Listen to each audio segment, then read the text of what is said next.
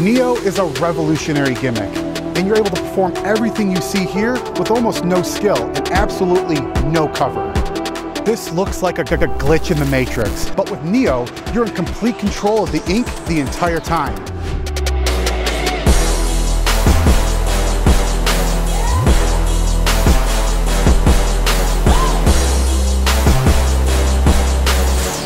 Make each X slowly teleport one by one and they unexplainably assemble to one corner of the card. There's no flaps or anything fragile. Instead, the Neo gimmick is engineered to last you for years to come.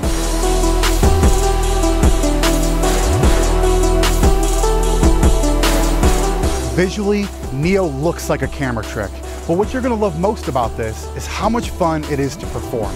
At the end of the effect, the card can be immediately examined and even given away as an awesome souvenir.